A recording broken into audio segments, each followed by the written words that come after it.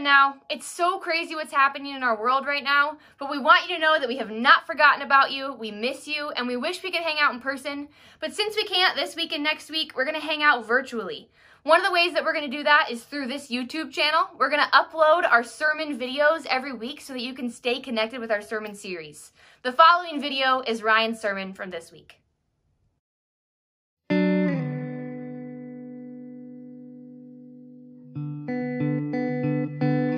Have you ever met someone who tells the best stories?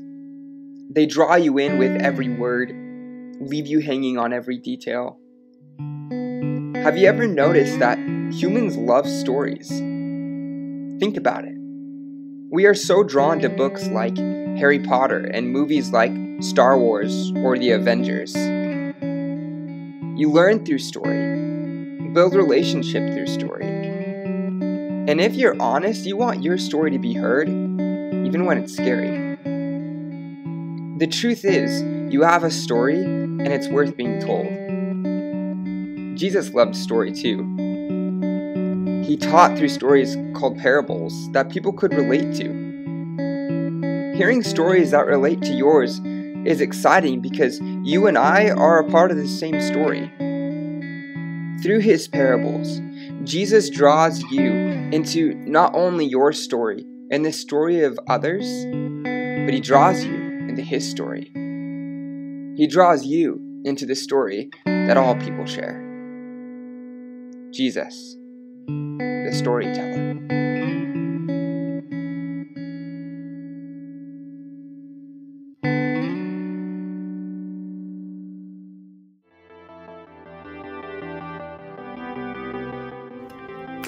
What's up, Gen Now? Super good to be with you guys. We're to continue on in our series on the storyteller. But first, I have a question for you. Have you ever um, found yourself doing something that sounded a lot easier than it really is? For me, that thing is golf.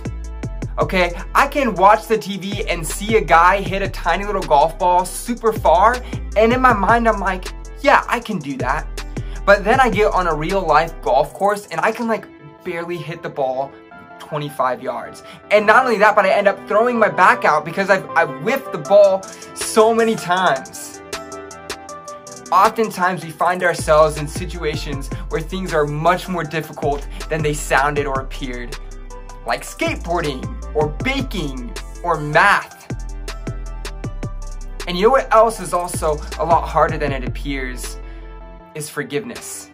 Yeah, in theory, I think forgiveness is something that we like. It's an idea that we can get behind. But when the rubber meets the road, when we've been hurt, when we've been wrong, when we feel disrespected, forgiveness gets really difficult. In fact, Jesus addresses this idea of forgiveness in a story, a parable found in Matthew chapter 18. One of Jesus' disciples, Peter, comes up to Jesus and he asks Jesus, how many times should I forgive someone? Seven times? Now, according to the Jewish law, seven times was actually going above and beyond what was normal, so Peter actually thought that he was doing really well. But Jesus responds and says, No, not seven times, but 70 times seven. Now, this is Jesus saying, Hey, it doesn't matter how many times you need to forgive, just simply forgive. Jesus goes on to tell this story. Therefore, the kingdom of heaven can be compared to a king who decided to bring his accounts up to date with servants who had borrowed money from him. In the process, one of his debtors was brought in who owed him millions of dollars.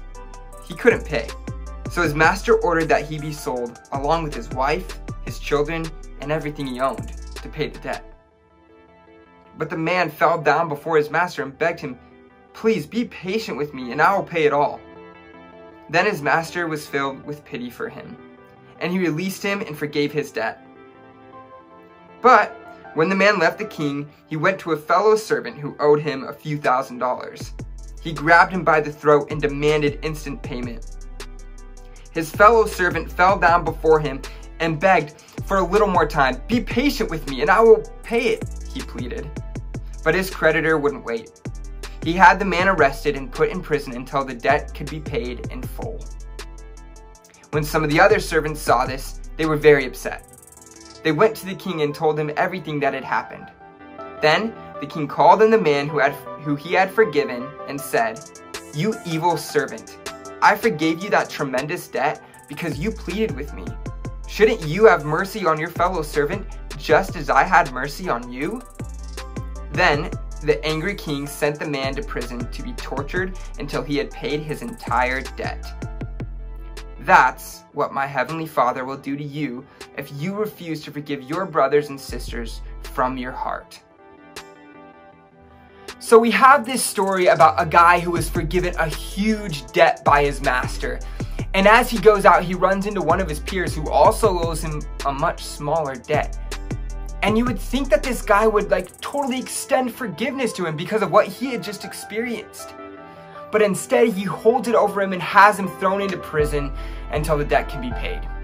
Well, the story doesn't end too well for this servant. When the master finds out, he gets furious and sends the guy back into prison.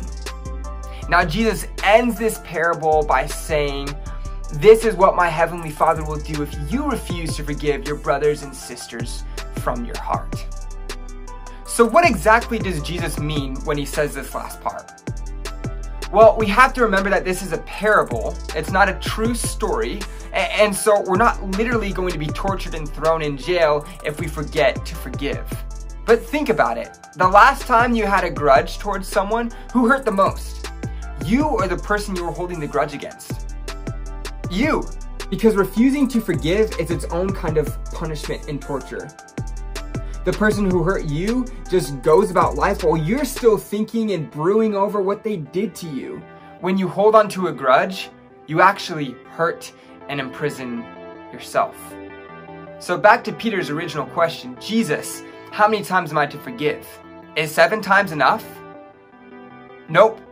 See, the point is, if we are keeping track, it means we haven't fully let go. We forgive it enough when we are finally free from those feelings of hurt and frustration. We forgive it enough when we are free. But that's not all. See, the point of the story is to, to shift our focus away from what people have done to us and towards the things that we've done. Things that God is so generously already forgiven. You see, sometimes it's hard to forgive others when we see ourselves as the good guy, but when our eyes are open to the things that we have done, it becomes easier to give other people a break. But when our eyes are open to all the ways that we aren't perfect either, giving others a break becomes a lot easier.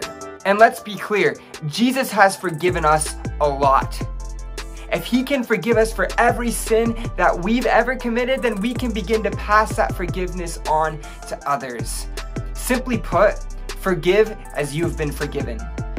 Now, as we think about this story that Jesus told, here are three thoughts for you. One, we can't forgive well until we fully realize and experience how much God has forgiven us in Jesus. Think about it for a second. Our pride that gets in the way of us loving others, our judgmental spirit that cuts people down the way we use words on social media or through our phones towards other people, or our envy and jealousy that no one else can see on the outside, but it's brewing on the inside. Part of the good news is that Jesus died on the cross for those sins and so much more so that we could have a relationship with God. Because Jesus' sacrifice on the cross and God raising him to life again, God has completely forgiven us past, present, and future. Our slate is clean. We've been forgiven so much. And when we start to understand and experience that forgiveness, it's easier, it's easier for us to extend it to others. Number two, forgiveness isn't a one-time thing. Sometimes you are able to get over something quickly, like a simple, I forgive you is enough for you to move on. But oftentimes, things cut extra deep. And the hurt goes beyond a one time apology, and the memory sticks with us. And it's these things that cause anger and hurt and resentment towards people.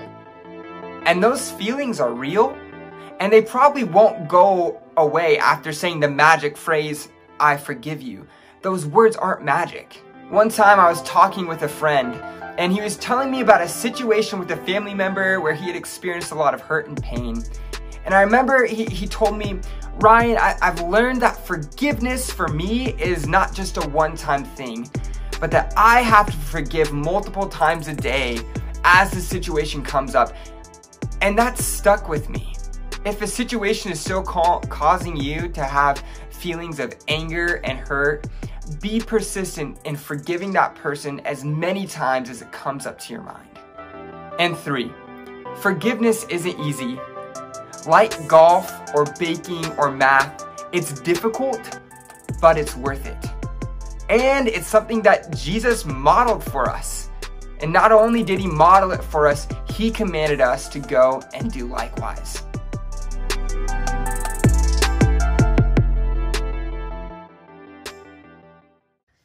Much for watching, you guys. I know this form of communication is new and a little bit different, but our goal in this is so that you can stay connected with Gen Now's youth group, but more importantly, so that you can stay connected with God. So don't forget to subscribe and to watch these videos. But more importantly, we want you to know that we are available to you even though you're stuck at home. So if you need to reach out, if you need prayer, if you want to just talk, let us know. If you have our numbers, text us. If you don't, private messages on Instagram. We would love to talk to you, even though this time is kind of strange and a little uncertain for everybody. We love you guys, and we can't wait to talk more.